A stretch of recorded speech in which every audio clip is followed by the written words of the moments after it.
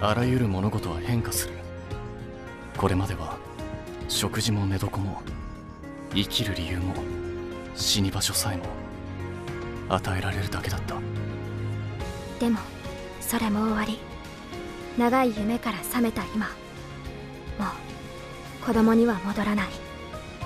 私たちは自分の意志でそれを選んだんだ。Oh boy, Darling in the Franxx, episode 22. We are only a few episodes away and we are getting what looks to be a very chill episode. As the preview featured a lot of just scenes of the kids working the earth and um, a lot of the emotional drama going on. But there are a few good things coming out of the preview that we can see. Uh, for one, we have Zero Two. She's catatonic, not dead. That's a big plus. The idea that Zero Two's consciousness might be stuck in the Franxx very possible. Um, from there, we also have a shot of Ikuno. Uh, that was a pretty good shot because it tells us that not that much time has passed since she went gray haired. Because I do think if she went gray haired, maybe she would die um, relatively soon. Um, so maybe like at most, I would imagine a few months. Now, what's interesting is that the other Nana is still around and original Nana is back. So a few things. First off, they like released her the better move because Papa's not around to like enforce his policies anymore.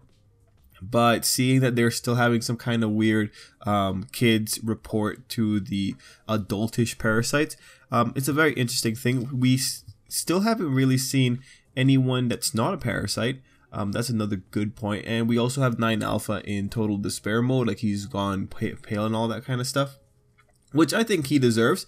But it's just kind of funny to see how much how far he's fallen. Uh, the question is whether or not um, his current state is something that's being produced because of Papa being gone or because of Zero Two's current emotional state. Who knows if they're linked? It's hard to tell.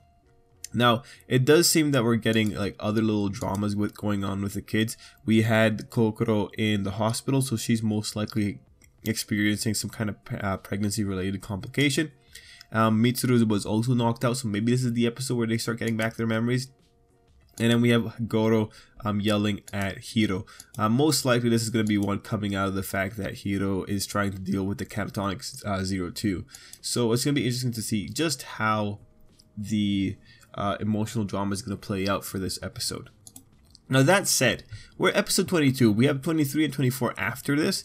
If this episode doesn't become a combat episode towards the last 5 minutes or towards the last 10 minutes, it's going to put a lot of pressure on the last two episodes.